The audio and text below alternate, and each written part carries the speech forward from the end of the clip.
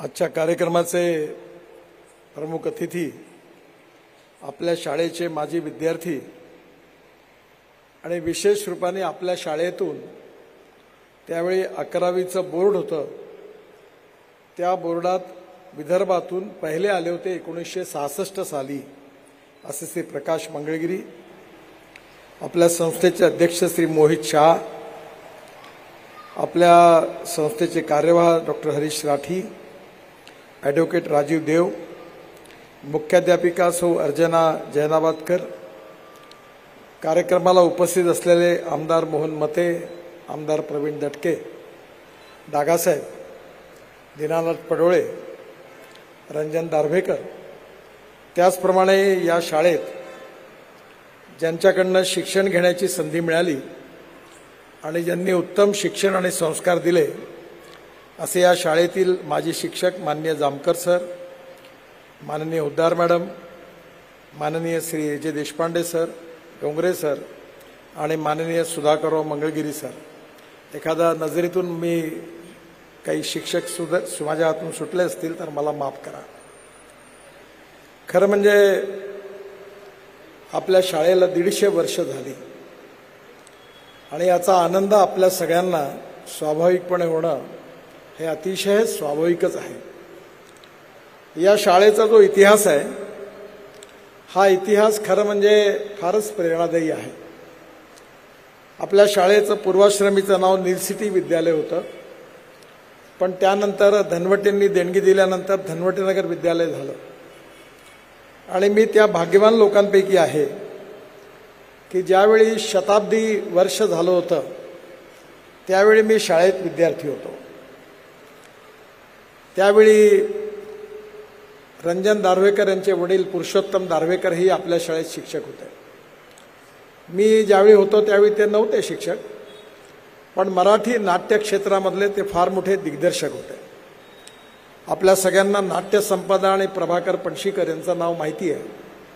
कट्यार काळजात घुसली अशा अनेक संगीत नाटकांचं दिग्दर्शन दार्वेकर मास्तरांनी त्यावेळी केलं.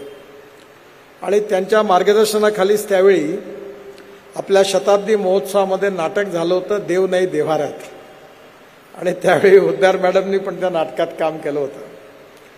त्या कार्यक्रमाच्या अनुषंगाने अनेक कार्यक्रम झाली होती. दवंडे सर त्यावेळी शाळेचे मुख्याध्यापक होते. आणि त्या शताब्दी कार्यक्रमामध्ये एक विद्यार्थी म्हणून त्या शताब्दी समारंभाचा आनंद घेण्याची संधी मला पण मिळाली. आज जवळपास दीडशे वर्ष आपण पूर्ण केली.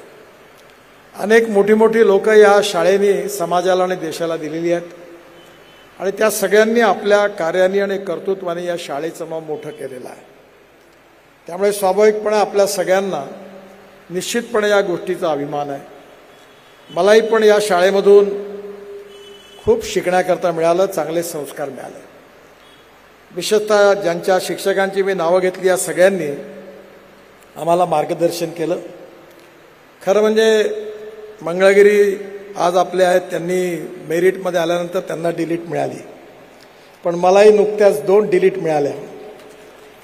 त्यातली एक पंजाबराव कृषी विद्यापीठाने दिली आणि दुसरी जी डिलीट आहे ती महात्मा ज्योतिबा फुले राहुरी जी ॲग्रिकल्चर युनिव्हर्सिटी आहे त्यांनी दिली.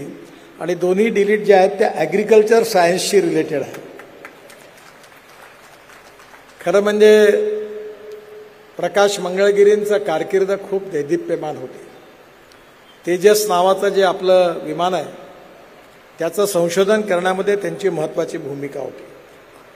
आणि म्हणून आज आपल्या शाळेचे माजी विद्यार्थी ज्यांनी ॲव्हिएशन इंजिनिअरिंगमध्ये एवढं मोठं काम केलं ते आज आपल्या या कार्यक्रमाला आले ही सगळ्यात अर्थाने आनंदाची गोष्ट आहे. ज्यावेळी हा कार्यक्रम ठरला त्यावेळी अशोक गांधी माझ्याकडे आले होते. आणि मला विशेष रूपाने त्यांची आठवण मॅडम पण होत्या. आणि त्यांनी मला जेव्हा विचारलं की आपण असाचा कार्यक्रम करायचा आहे कोणाला बोलवायचं? तर मी त्यांना लगेच सहज सांगितलं की आपल्या शाळेतले आपल्या आमच्या काळातले एक मेरिटमध्ये आलेले विद्यार्थी आहेत. पहिले मेरिट होते विदर्भातून. त्यामुळे आपण प्रकाश मंगळगिरी यांना आमंत्रित करा आणि त्यांना आपल्या कार्यक्रमाला बोलवा. आज प्रकाश मंगळगिरी आपल्या कार्यक्रमाला आलेत पण आज अशोक गांधी या ठिकाणी ये- नाही याचं मला अतिशय दुःख आहे. अशोक गांधी यांचा माझा अतिशय जुना परिचय होता. या शाळेच्या मंडळाचे अध्यक्ष म्हणून या शाळेच्या विकासाकरता त्यांनी सातत्याने प्रयत्न केला. त्याचवेळी माझं बोलणं झालं मुंबईमध्ये एका मोठ्या उद्योग समूहाशी बोलत असताना. त्यांनी मला सांगितलं की नागपूरमध्ये एखादा वीस पंचवीस कोटी रुपयाचा स्टेडियम बांधायला मी डोनेशन देतो. तर मी लगेच माझ्यासमोर मी एक एक गांधींना सांगितलं की मला तुम्ही प्रपोजल तयार करून द्या. आणि एस बी सी टी कॉलेजच्या बाजूला जे ग्राउंड आहे तिथे आपण मोठा स्टेडियम बांधू. आणि तो जेणेकरून आपल्या शाळेतल्या विद्यार्थ्यांकरता खूप सोयीचा होईल खेळण्याकरता प्रोत्साहन देणं त्यांची माझी तीच मिटिंग शेवटची ठरली. आज ते आपल्यामध्ये नाही. त्यांची प्रकृती खरं म्हणजे चांगली होती. पण त्यांचं अकाली जाणं हे आपल्या सगळ्यांनाही फारच दुःखदायक आणि क्लेशदायक आहे. आणि त्यांची आज विशेष रूपाने आठवण होते. खानकोजे साहेब देखील मी ज्यावेळी बांधकाम मंत्री होतो त्या काळामध्ये कॉन्ट्रॅक्टर म्हणून त्यांनी अनेक वेळा माझ्याबरोबर काम केलं. नागपुरामध्ये अतिशय विख्यात क्वालिटी काम करणारे उत्तम इंजिनियर म्हणून त्यांचाही नावलौकिक होता. त्या दोघांचाही पण आपल्या शाळेशी ऋणानुबंध होता. आणि आज ते दोघेही आपल्यातून नाही त्यांची आठवण होणं आपल्या सगळ्यांना स्वाभाविक आहे. मी त्यांच्या स्मृतींनाही पण अभिवादन करतो. शाळेच्या इतिहासामध्ये आपण जेव्हा विद्यार्थी म्हणून येतो तेव्हा लहान लहान गोष्टीतून शिक्षक आपल्याला शिकवत असतात. आणि त्यातून आपण बऱ्याच गोष्टी शिकत असतो. आणि ते जे संस्कार मिळतात ते मग आयुष्यात विशेष रूपाने उपयोगी पडतात. आपल्या शाळेतला हा जो चौक आहे ह्या चौकाची रचना खूप वेगळी आहे. आणि याची आठवण मला झाली ज्यावेळी मी ब्रिटिश पार्लमेंटमध्ये मला भाषण देण्याची संधी मिळाली. मी ज्यावेळी पार्लमेंटमध्ये जात होतो तेव्हा तिथे असाच एक चौक दिसला. दिसल्याबरोबर मला शाळेची आठवण झाली. या शाळेचा जुना इतिहास आहे. काही जण म्हणायचे की इथून एक भुयार आहे. ते टेकडीपर्यंत त्या किल्ल्यापर्यंत जातं. पण त्यातून कोणी आतमध्ये गेले आणि पुढे काय झालं हे अजूनपर्यंत काही माहिती नाही आहे परंतु त्यावेळी भोसलेकालीन इतिहासामध्ये या शाळेचं एक महत्त्व होतं. आत्ताच आम्ही एक म्युझिकल फाउंटेन तयार केला आहे. आणि त्याकरता नागपूरचा इतिहास गोळा केला. त्याकरता एक एक्सपर्ट कमिटी अपॉइंट केली होती. आणि पाण्याच्या स्क्रीनवर आपलं गांधी गेट शुक्रवार तलाव आणि जुना सगळा राजा बख्त बुलंदशाह रघुजीराजे बर्डीवर झालेली किल्ल्यावर झालेली लढाई या सगळ्याचं वर्णन त्या ठिकाणी आहे.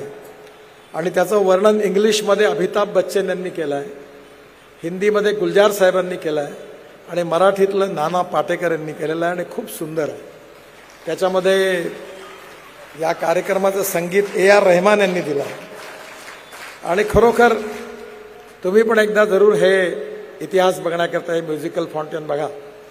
हे जगातलं सगळ्यात मोठं असं फाउंटेन आहे की जे फ्लोटिंग प्लॅटफॉर्म असताना त्याची साठ मीटर उंची आहे. त्याच्याकरता पंप टर्कीमधून आणले आर्किटेक्ट फ्रान्समधून आला. आणि जगातून पाच ऑस्कर विजेते आहेत आपल्या भारतातले. त्यांनी त्याच्यावर काम केलेलं आहे.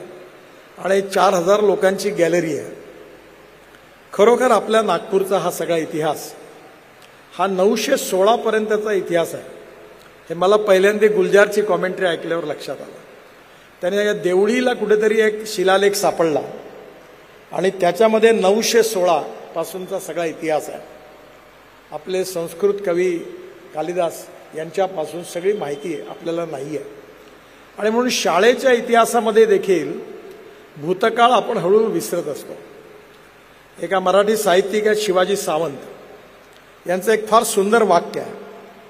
आणि ते वाक्य असं आहे की विस्मृती ही माणसाला देवानी दिलेली सगळ्यात मोठी देणगी आहे. पण हे जरी खरं असलं तरी जो प्रेरणादायी इतिहास आहे ज्या इतिहासामध्ये तुम्ही घडल्या घडल्या जातात जो इतिहास कदाचित भूतकाळ असला तरी वर्तमान काळात आणि भूतकाळात त्या इतिहासातून तुम्ही जे शिकता त्यातूनच भविष्य काळात मोठे होत असतात. त्यामुळे आपल्याला जो काही गौरवशाली इतिहास मिळालेला आहे तो आज जरी आम्हा आमच्या आम्ही सगळेजण वेगवेगळ्या क्षेत्रात जाऊन काम करण्याची संधी जरी मिळत असली आणि बहुमान मिळत जरी असला तरी शाळेतल्या लहानपणी मिळणाऱ्या शिक्षकांचे संस्कार आणि आईवडिलांचे संस्कार ही खूप मोठी पुंजी आहे. कारण माणसाचं मोठेपण त्याचं कर्तृत्व याचा संबंध केवळ त्याच्या ज्ञानाशी किंवा त्याच्या संपत्तीशी किंवा सत्तेत मिळालेल्या पदाशी नाही आहे माणसाचा संबंध जो असतो खऱ्या अर्थाने एक उत्तम माणूस एक उत्तम व्यक्ती म्हणून त्याच्यावर जे संस्कार होतात त्यातून त्याचा जो परिचय होतो हे खऱ्या अर्थाने त्याचा परिचय असतो. असं म्हटलं जातं की no one is perfect and no one can claim that he is perfect उत्तम अधिक उत्तम सर्वोत्तम up to infinity you cannot catch your own image पण ही सतत मोठं होण्याची चांगले गुण संग्रहित करण्याचे जे संस्कार आहेत हे संस्कार आपल्याला लहानपणी जेव्हा आपण आपल्या शिक्षकांच्या बरोबर काम करत असतो तिथून मिळतात. लहानपणी आईवडिलांपासून मिळतात. हेच मैदान आहे. ज्या मैदानावर आम्ही संध्याकाळी भाषणं ऐकायला यायचो. ललित कला विहार मंडळातर्फे. बाबासाहेब पुरंदरे प्रभावती राजे करपात्री महाराज वि ग देशपांडे. अनेक मोठ्या मोठ्या लोकांची भाषणं या ठिकाणी आहेत. या मैदानावर मी खेळलो. खो खो खेळलो. शाळेकडनं क्रिकेट खेळायचो. रेशीमबाग मैदानावर आम्हाला जोगळेकर सर शिकवायचे. खरं म्हणजे हा सगळा जो भूतकाळ आहे हा आज जरी इतिहासात जमा झाला असला तरी पण हा निश्चितपणे माझ्यासारख्या अनेक विद्यार्थ्यांच्या जीवनाशी तो संबंधित आहे. ज्या शिक्षकांनी मोठं केलं शिकवलं ज्यांनी ज्ञान दिलं त्याचं खऱ्या अर्थाने हे महत्त्व आहे. आणि मी नेहमी म्हणतो की नॉलेज ही सगळ्यात मोठी ताकद आहे. Innovation entrepreneurship science technology research skilled and successful practices याला आपण नॉलेज म्हणतो आणि conversion of knowledge into wealth म्हणजे हे आपलं भविष्य आहे.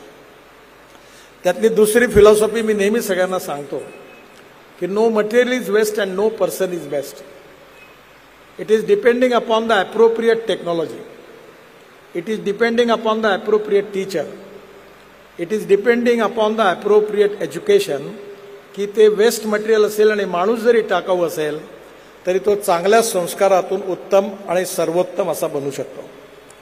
त्यामुळे मी तसा काही फार हुशार विद्यार्थी नव्हतो मंगळगिरीसारखा. मी मॅडमचा अनेक वेळा मार खाल्ला.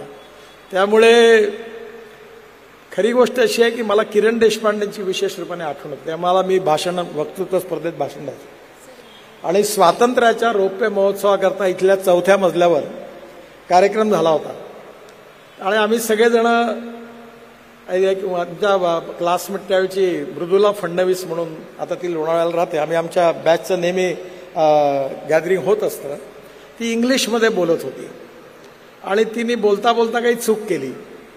तर आम्ही मागून म्हणालो की अरे पाणी पी पाणी पी पाणी पी. तर ते दवंडे सरांनी ऐकलं आणि कार्यक्रम संपल्यावर आम्हाला बोलवलं ऑफिसमध्ये आणि त्यांनी छड्या मारल्या. आणि त्यांनी सांगितलं की या हिच्यात हिंमत तरी आहे बोलायची पण तुमच्यामध्ये ती पण नाही आहे. तर ती बोलत असताना तिला प्रोत्साहन देण्याच्या ऐवजी तुम्ही तिला डिस्करेज करत होता आणि तुमच्यात हिंमत आहे तर तू का नाही भाषण करून दाख तर त्यांनी म्हटल्यामुळे आम्हाला जरा ताण आला आणि म्हटलं चला सरांनी आता मारली आणि ताणही दिला तर मी पण भाषण देईन. आणि म्हणून मी भाषण दिलं. आणि बघता बघता मला बक्षिसं मिळायला लागली. आणि त्यानंतर पुष्कळ बक्षिसं मिळाली. आणि ते जर दवंडे सरांनी त्यावेळी शिक्षा नसती केली आणि त्यांनी न नसतं म्हटलं तर मी कदाचित क्रिकेटमध्ये चांगला खेळाडू झालो असतो पण वक्तृत्वात कधी पुढे गेलो नसतो. त्यामुळे छोटे छोटे अनुभव आहेत. की ज्याचा जीवनाशी संबंध आहे. आणि म्हणून आज मला कधीकधी असं वाटतं की लहानपणाचे जे संस्कार आहेत ते खूप महत्त्वाचे आहेत. शिक्षकांनी जे शिकवलं ते खूप महत्त्वाचं आहे. मी सध्या कोविडच्या काळामध्ये यूट्यूबवरून व्हिडिओ कॉन्फरन्सनी बोलायला लागलो. आणि आता सध्या मला यूट्यूबनी मला अडीच लाख रुपये महिना मिळतो. आणि मी जे बोलतो ते सगळ्यात जास्त अमेरिकेत पॉप्युलर आहे. आणि तिथे मी एका कार्यक्रमाला परवा गेलो होतो. बॉस्टन कन्सल्टन्सी कंपनी म्हणून आहे त्याच्यात. तर त्यांनी मला सांगितलं की मी जेव्हा बोलत होतो तेव्हा ऐंशी हजार लोक अमेरिकेत ते ऐकत होते. तेव्हा मी मनात विचार केला की आपण तर एवढे मोठे नाही आहोत. ना आपण काही सायन्सचे पदवीधरी एवढे मोठे आहोत ना इंजिनियर आहोत. बऱ्याच लोकांचा समज आहे की मी इंजिनियर आहे म्हणून. पण मला मी काही इंजिनियर पण नाही आहे कारण मी जेव्हा Worli Bandra sea link project मुंबईतला बांधला उड्डाणपूल बांधले तेव्हा इंजिनियर्स लोकांचा असा संबंध झाला की मला इंजिनिअरिंगचं बरंच समजतं. पण मला काही त्यातलं फारसं समजत नाही. पण आता नंतर लोकांना जेव्हा मी टेक्निकली बोलायला लागलो तेव्हा त्यांना वाटलं मी मला काही येतं याच्यातलं पण मला काही विशेष येत नाही. मी फक्त अनुभवातून ते संपलो. आता मला संधी मिळाली. मी ज्या आपल्या आशियातली सगळ्यात मोठी एक टनेल बांधतोय जोजीला जी कारगिलच्या खाली आहे. तुम्ही एकदा जरूर पाहायला जा तिथे मायनस सिक्स डिग्री टेम्परेचर आहे. आणि ही असामान्य अशी टनेल आहे. पण परवा माझ्याकडे लद्दाख आणि लेहचे गव्हर्नर आले होते. आणि ते म्हणाले की सगळे लोक पहाडावर राहतात बिचारे पायी जातात. सगळ्या हिमालयाच्या याच्यात खूप अडचण आहे. तर मी म्हटलं तुम्ही चिंता करू नका. मी एक स्टार्टअप आहे गोव्यामध्ये त्यांनी एक फेनेक्युलर रेल्वे केली आहे. सध्या मी दोन सव्वा दोनशे ठिकाणी ropeway cable car funicular railway बांधतो. मी त्याला लगेच बोलावलं. आणि त्याला म्हटलं तू लद्दाख लेहमध्ये जा. आणि या गरीब लोकांना आपले सफरचंद वरतून खाली कसे आणता येईल खालीून वरती कसं जाता येईल तू ही फेनेक्युलर रेल्वे तयार कर मी तुला पायलट प्रोजेक्ट देतो. आणि आता मी ठरवलं आहे की आपण लद्दाख लेह काश्मीर उत्तराखंड हिमाचलमध्ये या सगळी अशी रेल्वे करायची की ज्याच्यामुळे लोकांना खालून वरती जाता येईल. पण टेक्नॉलॉजी आपल्याकडे आहे. टेक्नॉलॉजी करणारे इंजिनियर्स आहेत. आणि त्या सगळ्यांना जर उचित प्रोत्साहन मिळालं खूप काम होऊ शकतं. माझी प्रकाश मंगळगिरींना एक विनंती आता ते बहुतेक रिटायर्ड झाले आहेत. पण माझा एक प्रयत्न अधुरा पडलेला मी जेव्हा शिपिंग मंत्री होतो तेव्हा मी जलमार्ग बांधले मोठे मोठे ब्रह्मपुत्रेत बांधला गंगेत बांधला. मोठे मोठे शिपिंगच्या ह्याच्यात पुष्कळ काम करायची संधी मला मिळाली. त्यावेळी मी M P B S C plane आणले. आणि त्याच्यामध्ये अठरा सीटर सी प्लेन जे आहे ते मी स्वतः आणून मुंबईच्या समुद्रात ट्रायल घेतली. आणि नंतर मोदीजींनी पण त्याच्यावर ट्रायल घेतली. आणि आता त्याचे सगळे नियम तयार केलेले आहेत. तर मी तुमच्या हिंदुस्तान अरोनॅटिक्सच्या एम डीला आणि सायंटिस्टला बऱ्याच वेळा बोलावलं. पण सरकारमध्ये काम फार डिलेनी होतं. कारण लवकर होत नाही. त्यांनी माझा दाट पण बराच खाल्ला. पण मला काही ते M P B S C plane काही तुमच्या अॅरोनॅटिक इंजिनिअरिंगवाल्यांनी केलं नाही. त्यामुळे मनोहर पर्रिकर संरक्षण मंत्री होते. पण आता येणाऱ्या काळामध्ये खूप टेक्नॉलॉजी बदलली. आपण जगामधले इकॉनॉमीमध्ये सहावा देश झालेलो आहोत. आपल्या शाळेतले आजचे विद्यार्थी हे उद्याचे नागरिक आहेत. Engineer doctor I S officer police officer पत्रकार लेखक हे आपल्या विद्यार्थ्यांमधूनच होणार आहेत. आणि त्यांना जीवनामध्ये खऱ्या अर्थाने घडवणारे चांगले शिक्षक आपल्या शाळेमध्ये आहेत. खूप चांगली गोष्ट आहे ही कारण मी एकदा महाराष्ट्र सरकारच्या कमिटीचा अध्यक्ष होतो त्यावेळी आम्ही शिक्षण मंत्रालयाच्या संबंधित शाळेंचे दौरे केले होते. त्यावेळी मला एकदा त्यांनी विचारलं की रिपोर्ट काय? म्हटलं रिपोर्ट सोपा आहे. शाळेची बिल्डिंग होती तिथे शिक्षक नव्हते. जिथे शिक्षक होते तिथे बिल्डिंग नव्हती. जिथे दोन्ही होते तिथे विद्यार्थी नव्हते आणि जे तिन्ही होते तिथे शिक्षण नव्हतं. पण म्हटलं आज आपल्या शाळेमध्ये सगळं काही आहे. शिक्षक आहे चांगली बिल्डिंग पण झालेली आहे. जुन्या काळी दवंडे सर आणि त्यावेळच्या शिक्षकांनी अकरा अकरा रुपये पंचवीस पंचवीस रुपये गोळा करून ही बिल्डिंगचा चौथा मजला बांधला. कठीण काळ होता. प्रत्येकाकडनं पैसे आणून ते फेंडून त्यांनी ते एक एक पैशातून ही वास्तू उभी केली. आणि त्यामुळे आपल्या संस्थेला ज्यांनी आज इतकं मोठं स्वरूप दिलेलं आहे ते असंख्य शिक्षक काही रिटायर्ड झाले काही आपल्यामध्ये नाही आहेत आणि अनेक लोकांनी मोठं कॉन्ट्रीब्युशन केलेलं आहे. पण त्यांनी हा वृक्ष लावलेला. आणि याचं वटवृक्षामध्ये रूपांतर करण्याची जबाबदारी ही आताच्या पिढीची आहे. आणि मला विश्वास आहे की ज्या शाळेचा एवढा गौरवशाली इतिहास आहे नक्कीच भविष्यकाळ देखील त्यापेक्षा जास्त गौरवशाली होईल. आणि म्हणून आपण ही जी गौरवगाथा दीडशे वर्षाची काढलेली आहे ही नक्कीच आपल्या विद्यार्थ्यांना एक प्रेरणा देणारी ठरेल. आणि त्यातून पुन्हा एकदा आपण उंच भरारी घेऊन शाळेचा खूप विकास होईल. शाळा केवळ नागपुरात विदर्भात नाही महाराष्ट्रातल्या चांगल्या शाळांमध्ये वरती जाईल याकरता आमच्या सगळ्यांच्या शुभेच्छा आणि सहकार्य हे तुमच्याबरोबर आहे. पुन्हा एकदा तुम्हाला सगळ्यांना खूप खूप शुभेच्छा. विशेष करून प्रकाश मंगळगिरी आलेत त्यांनाही पण विशेष रूपाने धन्यवाद. माझं भाषण मी संपवतो. नमस्कार.